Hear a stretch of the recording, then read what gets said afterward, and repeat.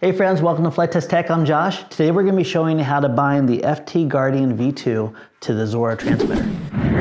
Now if you guys haven't already pre-programmed your Zorro transmitter, we have a video specifically for you showing you how to, assign each individual switches that not only work on the FT Guardian V2, but also the FT Tiny Whoop and many other quads that you'll be programming in the future.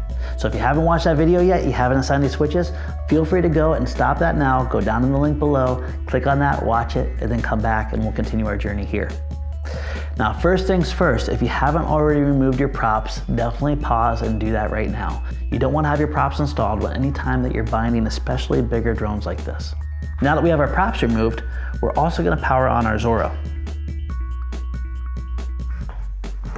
Welcome to EdgeTX.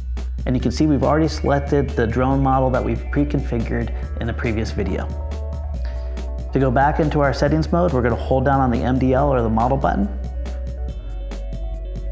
and we're gonna scroll over one page. From that point on, we can scroll down to where we have our bind. And if you haven't done this already, we wanna be internal mode, turn to multi, type an FrSky ID, and subtype be in D8. If you have all that, we can go down to where it says bind.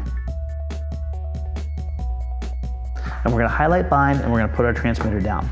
The next thing we're gonna do is we're gonna plug in our Guardian V2. And I'm gonna use my barbecue skewer. Anytime that we're poking around any kind of control boards or anything that has current going through it, make sure that you use something that's wooden or non-conductive. And right on the top of our RD1 receiver here, you're gonna see a little tiny button that we can press down. We're gonna go ahead and press that down and we should see a light light up. There we go. We have our solid red light. From that point on, we can go ahead and press our rolly ball one time and you're gonna see this flashing, meaning it's now communicating and establishing a bind between the transmitter and the drone.